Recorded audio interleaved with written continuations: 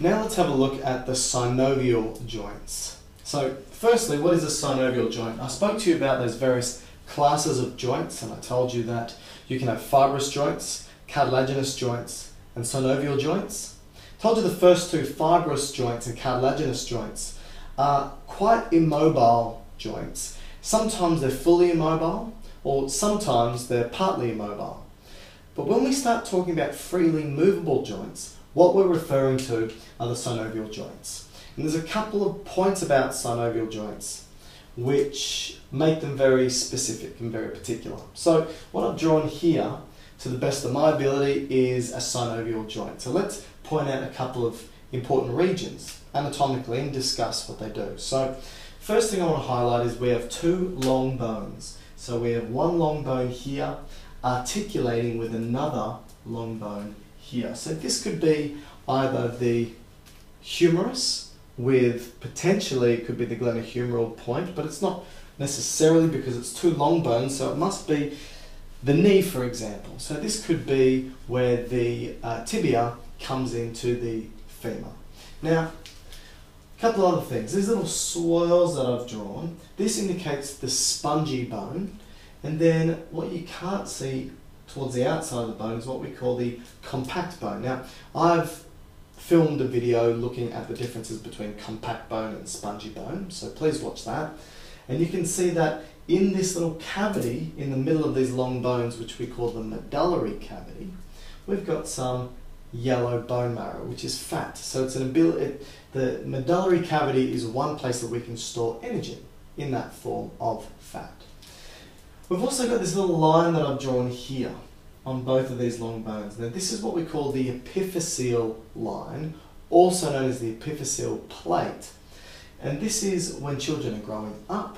I've spoken to previously about in the epiphyses, so you've got your whole long bone, the diaphysis is the shaft of the bone, the epiph epiphysis is on both ends, the proximal epiphysis, distal epiphysis, and in this epiphysis, there is a plate that when you were younger, this plate was cartilaginous and would allow for bone growth to occur. So it would secrete all this extracellular matrix and then calcium and phosphate would come along and harden that bone.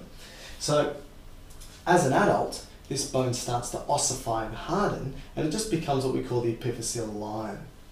In addition to that, we can see this blue line that I've drawn, that's articular cartilage, which I've spoken to previously as being of the subtype of hyaline cartilage, and it's this glassy, smooth cartilage at articulating bone surfaces so bones can glide across and create a frictionless environment. To aid in that frictionless environment, we have this membrane here, which is typical of synovial joints, and it's called the synovial membrane and it releases a fluid in the joint capsule space called synovial fluid. And again, this fluid reduces friction. We've also got the fibrous portion of this capsule. So the capsule here is made up of the synovial membrane and the fibrous membrane here, which sort of encapsulates the whole joint part. You can also see we've drawn a little bit of the periosteum, which is the outside aspect of the bone. Now the periosteum goes along the outside aspect of all bones. However, when it comes to an area of articular cartilage, there is no longer any periosteum. It then turns into articular cartilage. So now what I want to talk about are the different subtypes of synovial joints, how freely movable they are, and where you can find them in the body with the help of our friend Frank. So, Firstly, when we look at the synovial joints, we can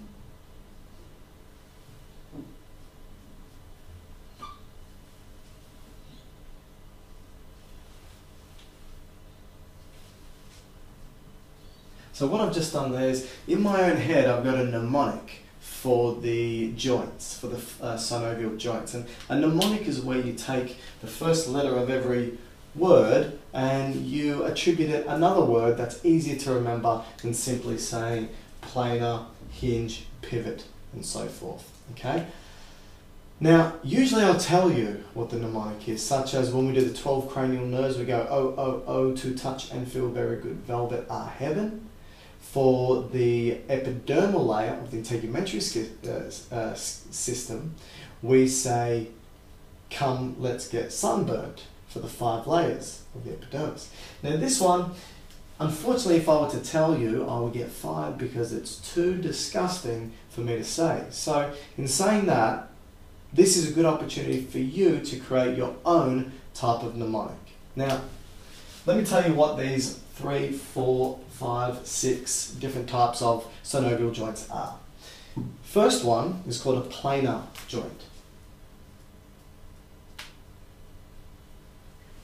The next one is called a hinge joint. Then we have a pivot joint. Then we have a condylar joint, a saddle joint, and a ball and socket joint.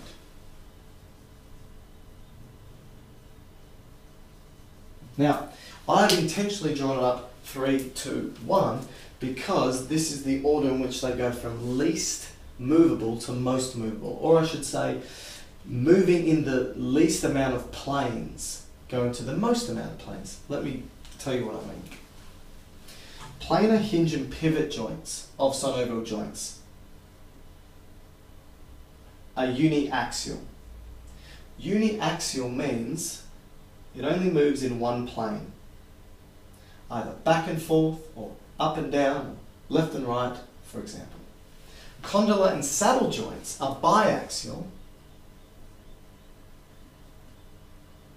They can move in two planes, which means they can go either forward and back and up and down, for example. Ball and socket joints are multi-axial, and therefore they can not just move up and down and left and right and forward and back and diagonally and so forth. They basically can move in many directions. So you probably know what type of joint is a ball and socket joint. Okay, now, a planar joint. A planar joint is basically like two flat pieces of material coming together and they will either just move up and down or forward and back. So that's a planar synovial joint. Where can we find a planar synovial joint? Well, let's bring Frank into the picture. A planar synovial joint is the type that you can find in the hand. Now, the hand has many different types of bones. So please remember that you will have your carpals here, your metacarpals here, and then your phalanges, sorry, here. So carpals, metacarpals, then you can have your proximal phalanx, middle phalanx, distal phalanx. The place that you can find the planar joint is at the carpals, in what we call the intercarpal joint. So between carpals are where you can find planar joints. So we can write intercarpal joint.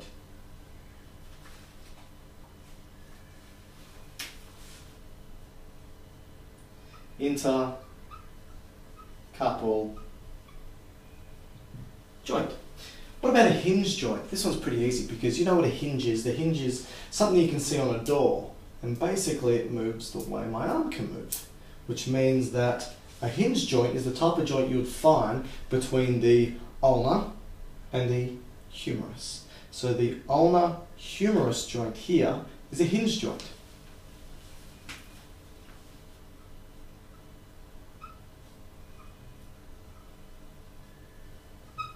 Okay, what about a pivot joint? What's a pivot joint? Well, a pivot joint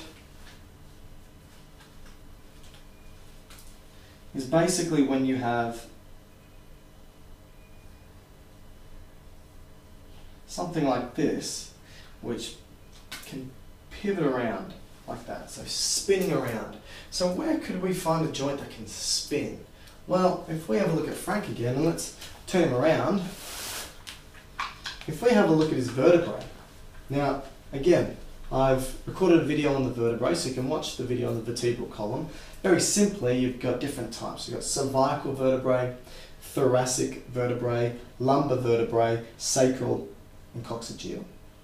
And if you look at the seven cervical vertebrae, the top two, C1 or cervical 1, C2 cervical 2, are quite different. The very top, C1, is also known as the atlas. Why is it called the atlas? Do you know that Roman god, I think it's a Roman god or Greek god, that's holding the world above him, holding that world up? Well, that's synonymous, or at least trying to be synonymous, with this atlas, the C1 holding the skull above it. The one below it is called the axis. Okay, and the reason why it's called the axis is because it spins on an axis.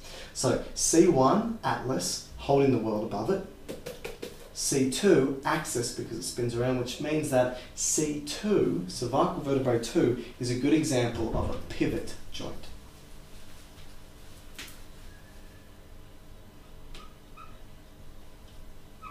So there's a cervical vertebrae, sorry about my writing, C2.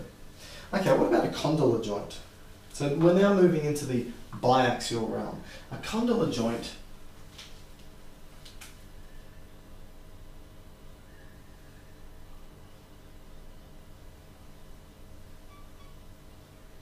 sort of looks like that. So sort of can rock back and forward and left and right. That's a condylar joint. So if we can have a look to see where we can find a condylar joint, we take Frank again. Condylar joint is the typical joint that you would find between the metatarsal and the proximal phalanx. So between the metatarsal and the proximal phalanx, that joint there is what we call a condylar joint.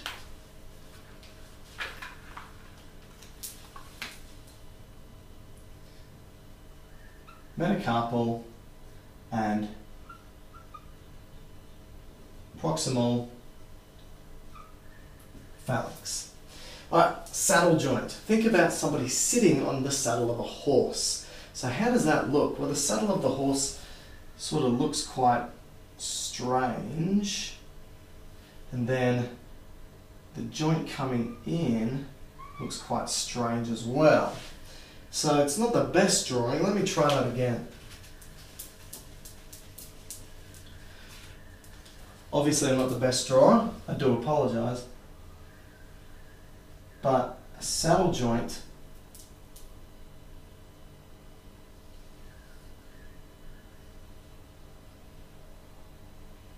sort of looks a little bit like that. It's a pretty terrible drawing.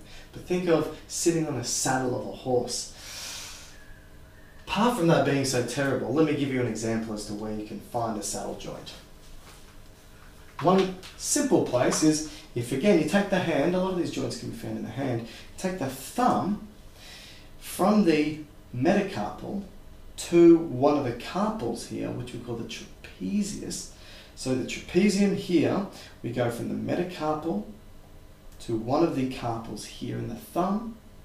That is going to be what we call a saddle joint.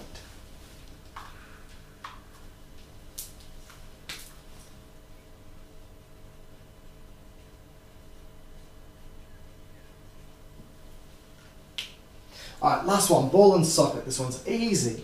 Think of a ball, think of the ball being inside of a socket. That's what you can find here at the glenohumeral joint. I'll bring Frank into the picture the glenohumeral joint, meaning the ball or the head here of the humerus, inside the scapula here, glenohumeral joint, or even the head of the femur in at the hip. Both of these are examples of ball and socket joints. Now, even though they're multi-axial, some of these have less movement than others and some have more movement. So for example, the shoulder has greater movement inside of that joint, but it's weaker. While the hip has less movement inside that joint and it's stronger. Okay, so let's write down two examples of ball and socket. We can write glenohumeral.